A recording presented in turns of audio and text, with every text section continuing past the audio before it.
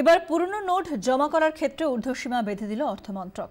তিরিশে ডিসেম্বর পর্যন্ত পুরনো নোটে পাঁচ হাজার টাকার বেশি অর্থ মাত্র একবার জমা দেওয়া যাবে। নয়া নির্দেশিকা জারি করেছে অর্থমন্ত্রক, যদিও প্রধানমন্ত্রী জনকল্যাণ যোজনাকে এই নিয়মের বাইরে রাখা হয়েছে।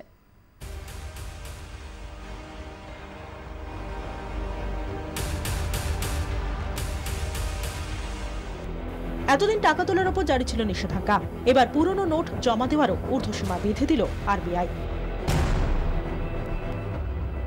হাতে আর মাত্র এগারোটা দিন। প্রধানমন্ত্রীর ঘোষণা অনুযায়ী তার মধ্যেই ব্যাংকে জমা করতে হবে বাতিল পাঁচশো হাজার টাকার নোট। কিন্তু যত খুশি টাকা আর জমা করতে পারবেন না আপনি। সোমবারই জারি হলো আরবিআই এর নয়া নির্দেশিকা। আজ থেকে তিরিশে ডিসেম্বরের মধ্যে আপনি নিজের ব্যাংক অ্যাকাউন্টে যদি বাতিল নোট জমা করেন, তাহলে পাঁচ হাজার টাকার কম করাই ভালো। পুরনো নোটে পাঁচ হাজার টাকার বেশি জমা করতে চাইলে তা একবারই করা যাবে। কেওয়াইসি সম্বলিত অ্যাকাউন্ট ছাড়া বাতিল নোটে পাঁচ হাজার টাকার বেশি জমা করা যাবে না। বাতিল নোটে পাঁচ হাজার টাকার বেশি জমা দিলে গ্রাহককে উপযুক্ত কারণ দেখিয়ে জানাতে হবে কেন তিনি এতদিন ওই টাকা ব্যাংকে জমা দেননি। কমপক্ষে দুজন ব্যাংক কর্তার সামনে তাকে প্রমাণ দেখাতে হবে।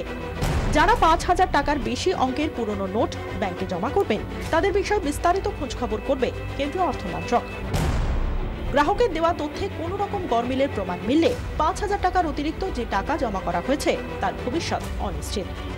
এত কড়াকড়ির মধ্যেও অবশ্য সামান্য ছাড়ও দেওয়া হয়েছে। প্রধানমন্ত্রীর গরিব কল্যাণ যোজনাকে ছাড় দিয়েছে শীর্ষ ব্যাংক। নয়া এই নির্দেশিকা ইতিমধ্যেই চিঠি দিয়ে বিভিন্ন ব্যাংকে জানিয়ে দিয়েছে আরবিআই। কিন্তু আরবিআই এর নয়া এই নির্দেশিকা ঘিরে বেঁধেছে গোল।